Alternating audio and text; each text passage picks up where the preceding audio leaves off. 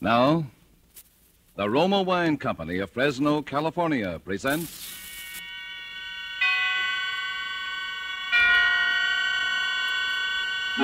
Suspense.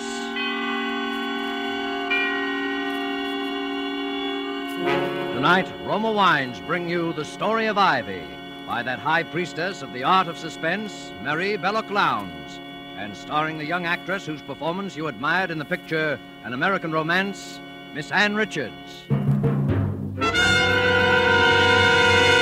Suspense is presented for your enjoyment by Roma Wines. That's R O M A, Roma Wines. Those excellent California wines that can add so much pleasantness to the way you live, to your happiness in entertaining guests, to your enjoyment of everyday meals. Yes, right now a glassful would be very pleasant, as Roma Wines bring you a remarkable tale of suspense. And with the story of Ivy and with the performance of Ann Richards as its extraordinary heroine, Roma Wines hope indeed to keep you in suspense.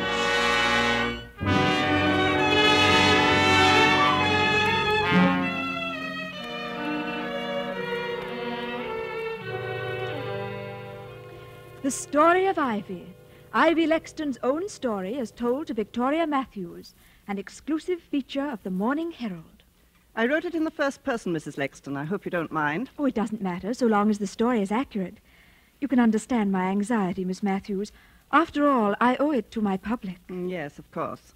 Perhaps you'd like to read it through and make suggestions before signing the release. Oh, if it's not too much bother. On the contrary, hearing it in your own words would be a decided help to me. Very well, Miss Matthews. I'll read it out then. Are you comfortable? Would you like anything? A cigarette, perhaps? It's unfortunate that I have no maid here with me at present. Thank you. I'm quite comfortable. Please go ahead, Mrs. Lexton. Very well. Chapter 1 I was born in Hobbs Court, Soho, and I was christened Ivy Gudge. I hated my name, and I hated the sordid surroundings into which I had been born. And while yet a child, I made up my mind that wealth and position should be mine at whatever cost. As a child, my favorite book was the story of Nell Gwynn, the commoner who became the favorite of a king. And one sentence of Nell's, in the face of all her success, made an indelible impression on me. It was this In life, I have never sought anything that did not seem to have been placed in my hands by Providence itself. At the close of my first season as an actress, our show was bankrupted by an embezzling manager, and I was left stranded in the provinces and stone broke. Many great gentlemen had shown me attentions and showered me with presents, but I sought assistance from none of them. And it was Jarvis Lexton, a young man whom I'd scarcely noticed, who came to me in my hour of need. Ivy, I know there are hundreds of men who adore you. Men with titles, wealth, social position, much more than I can offer. But there's not one who loves you more than I do. Will you marry me, Ivy? And I said yes, because it was offered. We were frightfully happy that first year of our marriage, and Jarvis was so generous, humoring all my little whims, spending much more money on me than he could afford. It always gave him a thrill of boyish pleasure to see my portraits in the newspapers and magazines, with captions such as The Beautiful Mrs. Ivy Lexton, wearing Vionette's latest creation, or Mrs. Jarvis Lexton at Ascot, with Lady Hampton and Lord Rushworth. He kept a scrapbook of them, and really seemed quite pleased about everything, until one day. I say, Ivy, don't you think you're being seen and photographed a bit too much with this fellow Rushworth? Oh, but darling, I thought you liked having me hobnob with the peers of the realm. What about this other chap, Roderick Gresham? You know, it does seem a bit thick for me to work my head off 12 hours a day, figuring out ways to finance your clothes and jewels so you can be photographed with other men. It's got to stop in any case, Ivy. We're broke. Oh, You mean our money is all spent up? We're wiped out. The bailiffs attached my office furniture. We can't even pay the rental on this flat. What are we going to do, Jarvis? I'll let you figure that one out. You're so good at spending money, perhaps you can think of a way to make some.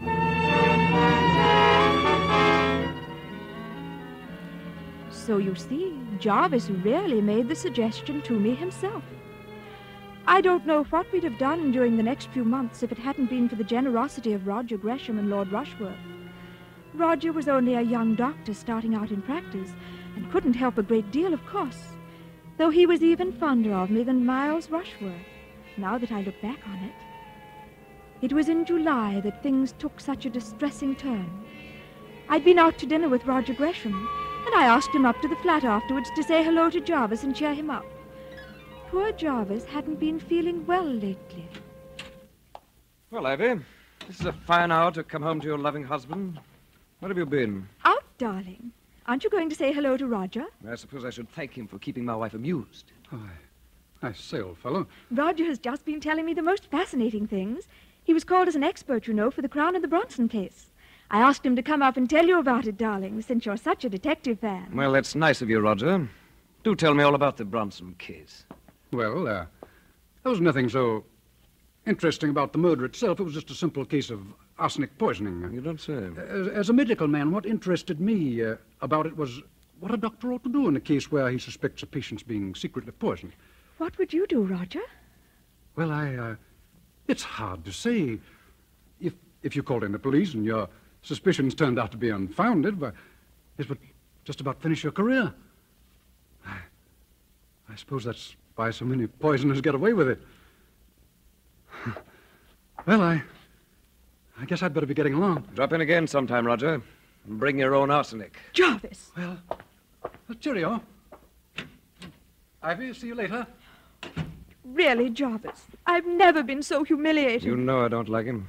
Why do you persist in bringing him here? Why, darling, I do believe you're jealous. Well, why shouldn't I be? I like it when you're jealous. It's like old times, isn't it? Do you deny that he's in love with you? And that you've encouraged him? Him and I don't know how many others? Oh, now, darling, don't be like that. There's only one other. You admit it. Well, darling, we may as well be realistic. We're still stony broke, and you don't seem to have any prospects. What are you driving at? Well, Miles got back in town today, and Who's I'm seeing Miles? him tomorrow night. Lord Rushworth, darling. Oh, that titled idiot. That titled idiot has been paying the rent on this flat for the past six months, if you want to know the truth. Why, you little... Well, now, can I help it if Miles Rushworth is awfully, awfully fond of me? And if it helps us, what's the difference? Go on. I'm listening. Darling, look. I'm just a burden to you at this stage, aren't I? So you want me to give you a divorce? Is that it? Needn't make any difference between us, darling. As soon as I'm Lady Rushworth, I'll settle a nice allowance on you. Are you serious? Of course I'm serious, darling. Well, I don't play your rotten, filthy game. Jarvis! You married me for richer or poorer, and you're going to stick to your bargain. And if you try to divorce me, I'll make such a scandal your precious Lord Rushworth will wish he'd never met you. In fact, I've a notion to do it anyway. Oh, Jarvis, you wouldn't. That would spoil everything. You're frightened, aren't you? Well, I'll give you your choice. Either you give up your boyfriends and keep me, or you'll lose all three of us. Which will it be? Well. Well, all right, Jarvis. I'll tell Roger and Miles both. I can't see them again ever. Why didn't you just ask me to kill myself? I might have obliged if you'd been more honest. Jarvis, you mustn't say such things. You're poison to me. I ought to let you go. But I won't. If it's any satisfaction to you, I'd be better off dead than with things the way they are. So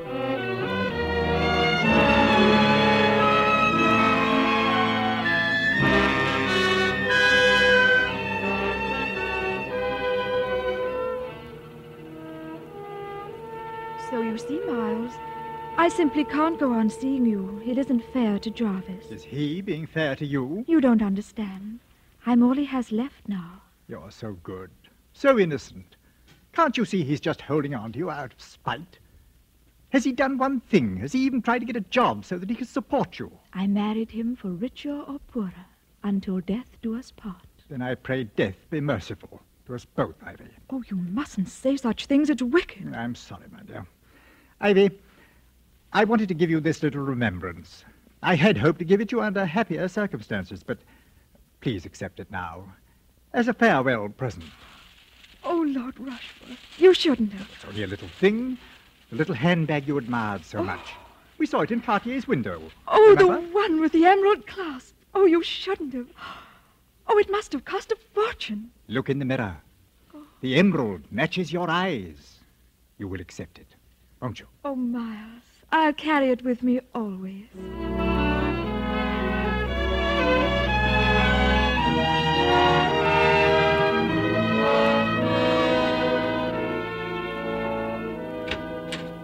Ivy, darling, come in, come in. Oh, I was just in the neighborhood, Roger, and I thought that Yeah, I. yeah, let me take your things. I say. Oh, what a smart handbag. Hmm, real emerald, isn't it? Yes, Miles gave it to me. Isn't it lovely?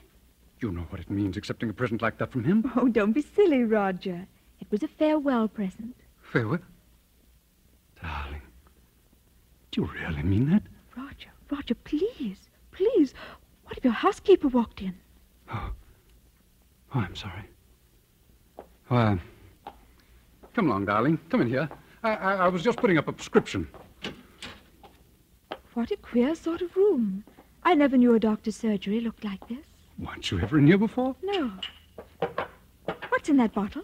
Oh, oh, arsenic. I thought it was a poison. Well, it is. It's also a fine tonic taken in the right amounts. How much would it take to, uh, kill someone? Oh, about the same amount as the amount of sugar it would take to sweeten your coffee. Oh, doesn't it give you an eerie feeling? What? That little glass jar. There's death in it. Prison, waiting to escape. Oh. Aren't you being rather morbid? Will you have one or two spoonfuls of death in your coffee, darling? I say, you are a little Borgia, darling. oh, it's my patient now. Wait here, darling. Shan't be a moment. As soon as he'd left the room, I picked up the glass jar on the end of the table, unscrewed the top of it, almost without being aware of what I was doing.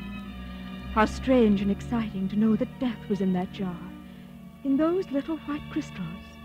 Then, as if some power outside myself had suddenly taken possession of me, I pressed the catch of that lovely jeweled handbag and commenced spooning out the white crystals.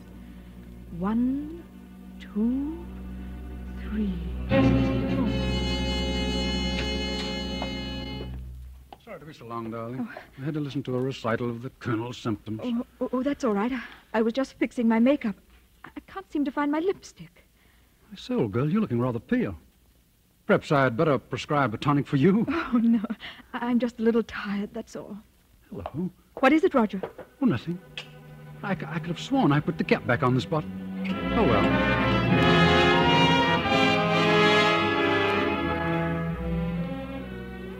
On the bus, all the way back to Kensington, I kept wondering why I had done that funny thing. It seemed as if everyone was staring at me and at the little handbag with the emerald, emerald clasp. In a momentary surge of panic, I wondered if they'd guessed my secret. The little white crystals of death I had carried away with me. For what? For whom? Then of a sudden it came to me. Providence had placed in my hands the means of helping my poor, unhappy husband.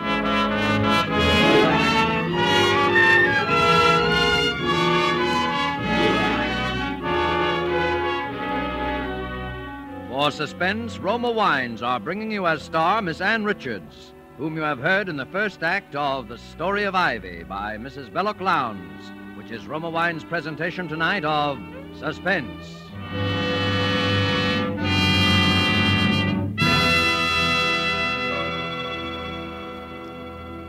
Between the acts of suspense, this is Truman Bradley for Roma Wines. Gracious hostess, Elsa Maxwell makes this timely suggestion. During the warm weather, I'd suggest you try America's smartest, coolest drink refreshing Roma wine and soda. So simple and yet so charming. When the temperature soars, enjoy iced, thirst quenching Roma wine and soda. Simply half fill tall glasses with good Roma California Burgundy or Roma California Sauterne. Add ice cubes and sparkling water. A little sugar if you wish. And for a decorative touch, garnish with cherries and slices of fruit. The secret of the flavorful goodness of Roma wine and soda is the distinguished Roma wine, unvaryingly good, always high in quality of bouquet, brilliance, and taste. The result of selected grapes, slowly brought to perfection in California's choicest vineyards, carefully, unhurriedly, guided to flavor fullness by the ancient skill of Roma's famed wineries. Yet all this goodness is yours for only pennies a glass. Remember, because of uniformly fine quality at reasonable cost, more Americans enjoy Roma than any other wine. R O M A, Roma wines. And now Roma Wines bring back to our Hollywood soundstage Ann Richards, who continues the story of Ivy, a play well calculated to keep you in suspense.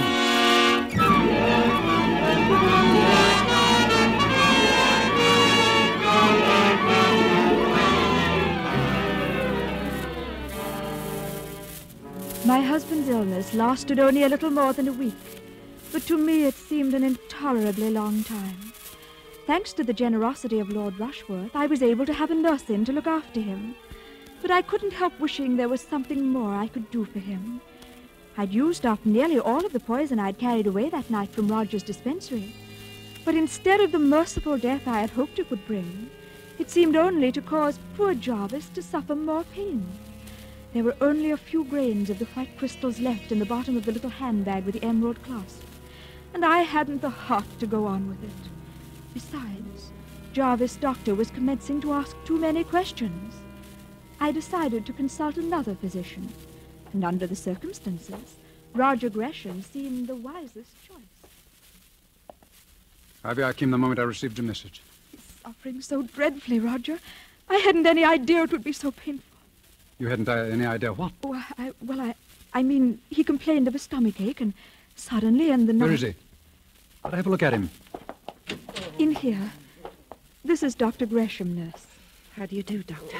Jarvis, I've asked Roger to look at you. You don't mind, do you, dear? Get him out of here. I've been poisoned. He's the one who poisoned me. Get him out of here.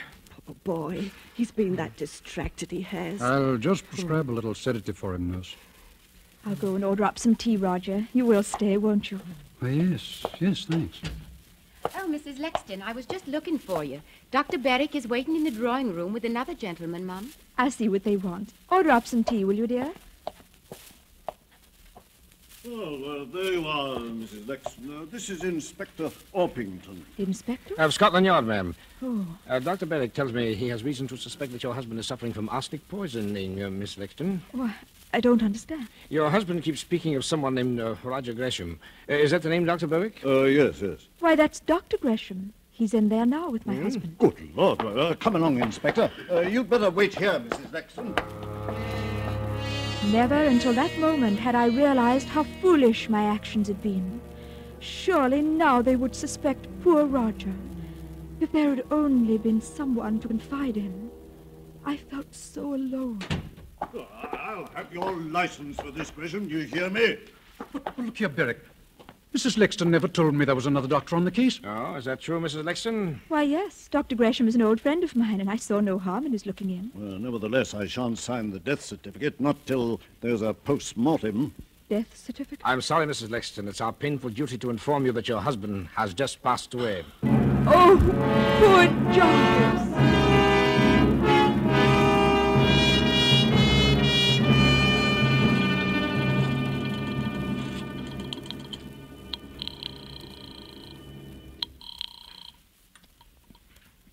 Dr. Gresham speaking. Roger, it's Ivy. Ivy, why haven't you called me before? What's been happening? Oh, Roger, it's been such an ordeal you don't know. And that dreadful man, that inspector from Scotland Yard, has been here again asking questions. What kind of questions? Well, darling, I can't tell you everything over the telephone, but he said it was his duty to find out the truth. The truth about what? They found out that poor Jarvis died of arsenic poisoning. Suicide? The inspector says they know it was murder. What possible motive could I have? None, of course, darling. But I was silly enough to let out to the inspector that you had been, well, fond of me in a sort of way. Are you there, Roger? Yes. Yes, go on, Ivy. Well, the moment I said it, I saw what a mistake I'd made. But he spoke as if he already knew such a lot, or at any rate, some part of it. What part of it? Well, that even if I didn't care for you, you had been very, very fond of me. Are you there, Roger? Yes. Yes, Ivy. Go on. What else? Well, he's certain to ask if I've ever been to see you at your house, I mean. Well, uh, of course, I said no. Are you still on the line, Roger? Yes, Ivy. Well, you won't give me away, will you, Roger, darling? No. No, Ivy, don't worry. I won't give you away.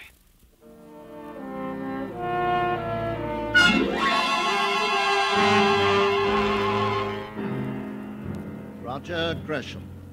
The jury, after a careful and patient hearing, have found you guilty of the wilful murder of Jarvis Lexton. The sentence of the court upon you is that you be taken from here to a lawful place of execution, and that you be there hanged by the neck until you be dead.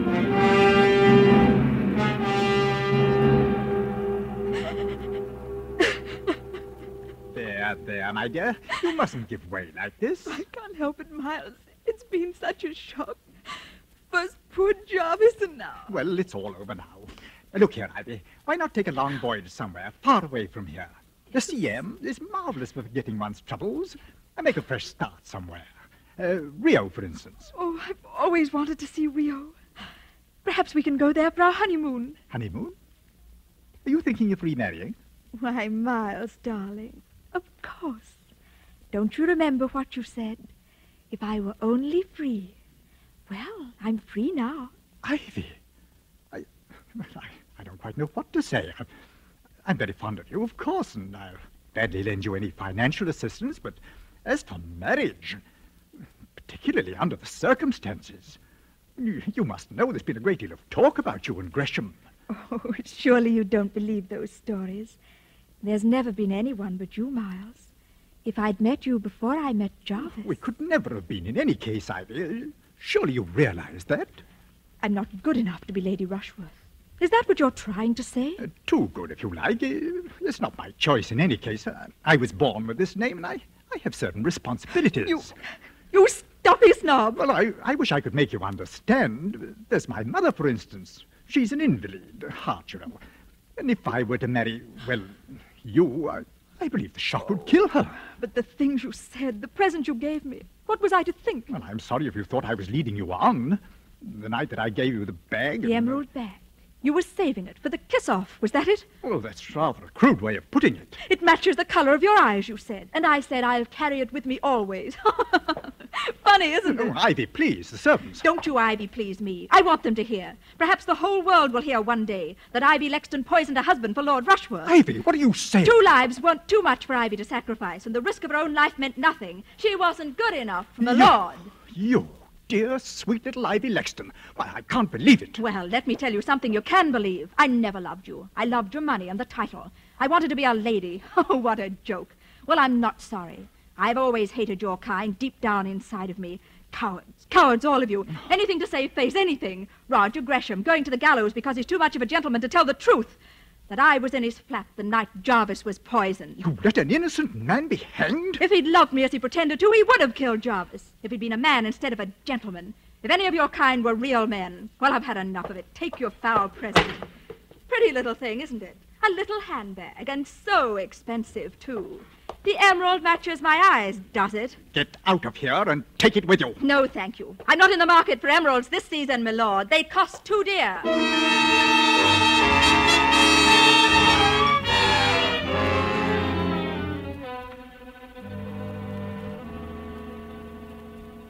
We've analysed the residue in that handbag, Inspector. Oh, good, good. Uh, what did you find? Well, quite a lot of face powder, some tobacco crumbs, and about three grains of chemically pure arsenic. Leave it here. Sergeant, bring in Mrs. Lexton. Yes, sir. Bring in the prisoner. What's the meaning of this, Inspector? Please, please instruct your officers to treat me with respect. I'm not a common criminal. Let her go, officer. Thank you, Inspector. Mrs. Lexton, have you, uh, have you ever seen this handbag before? Oh, where did you get that? I'll ask you a question. Where did you get the arsenic that we found in it? I'm sure I don't know.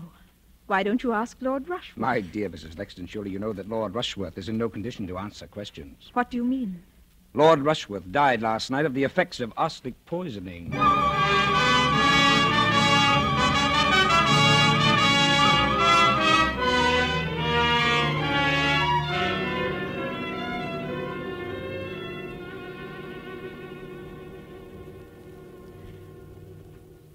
And so my story draws to a close. It's a comfort to me as I sit here in the condemned cell to know that so many loyal friends still believe in my innocence, in spite of all the ungentlemanly things the Crown Prosecutor said about me during my trial. I was especially gratified at the tribute paid to the costumes I wore in the witness box. One admirer has written to compliment me on my delivery and the poise I exhibited under cross-examination. I'm told that my remarks were clearly audible in the very back row of the spectator seats, in spite of the overcrowding. And on the final day of testimony, I received that greatest of all the tributes an actress can command. My audience was moved to tears. And so, in spite of all the misfortunes that have befallen me and my loved ones, I have at last realized my life's ambition. The end. Well, Mrs. Lexton, does it meet with your approval?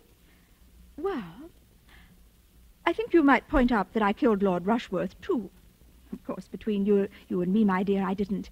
It must have been suicide. But you know, it makes a better story. And uh, please print the photograph that was taken of me outside St. Paul's after my husband's funeral. That was the smartest frock I ever owned. I think that can be arranged, Mrs. Lexton. And uh, how much did you say your paper's going to pay for my story? Two hundred pounds. We thought that was quite generous. Well, it's not much, but it'll come in handy. They're hanging me next week, you know, and I haven't a thing to wear.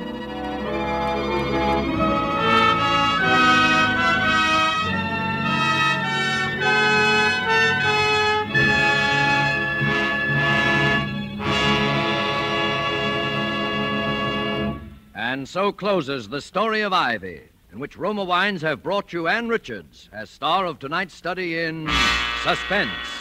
Suspense is produced, edited, and directed by William Spier.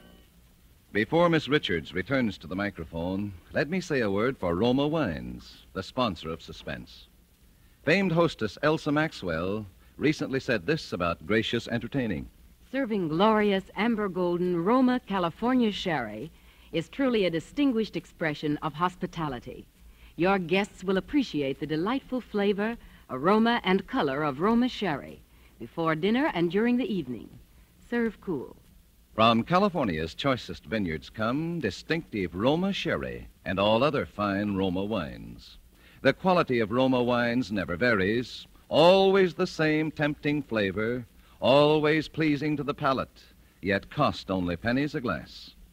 And the next time you use vermouth, choose Roma vermouth.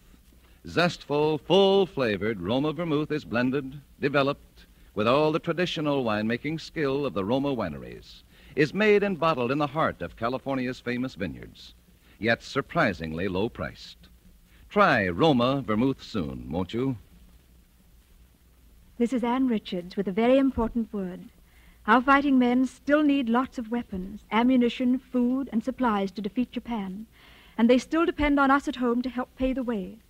There'll be one less war loan this year. So to do our share, we must buy bigger war bonds now during the seventh war loan. War bonds, remember, are the world's safest investment. Thank you, Ann Richards. Next Thursday, same time, Mr. Henry Daniell will be your star of Suspense. Presented by Roma Wines, R O M A, made in California for enjoyment throughout the world.